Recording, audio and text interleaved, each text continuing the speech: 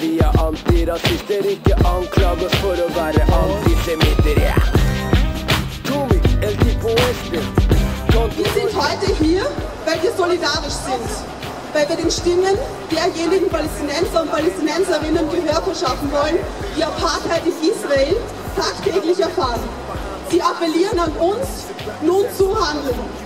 Denn auch wir wissen nur zu gut, dass unsere Freiheit ohne die Freiheit der Palästinenser und Palästinenserinnen unvollständig ist.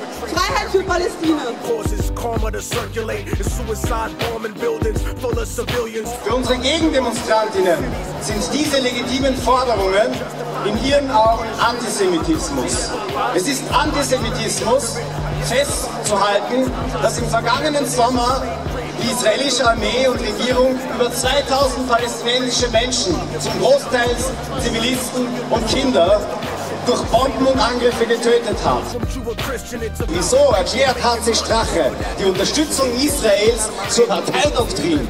Israel ist für die rechten und rechtsextremen Parteien in Europa ein Modellstaat, der es versteht, in der permanenten Krise jegliches Aufbegehren mit speziellen Methoden zu bekämpfen.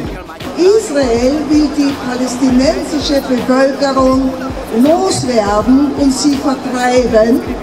Deshalb macht sie ihnen das Leben zur Hölle. Seit fast sechs Jahrzehnten wird das palästinensische Volk vertrieben, unterdrückt und gepeinigt. 700.000 wurden in 1948 vertrieben, 300.000 mehr in 1967. Tausende inhaftiert, inklusive Kinder und abermals Tausende durch zivile Massaker und Militäroperationen getötet. Und trotzdem wächst der Widerstand. Denn Unrecht bringt Widerstand. Was Israel in 60 Jahren nicht geschafft hat und auch in 200 Jahren nicht schaffen wird. Sie können uns nicht unsere Würde nehmen. Free Palestine!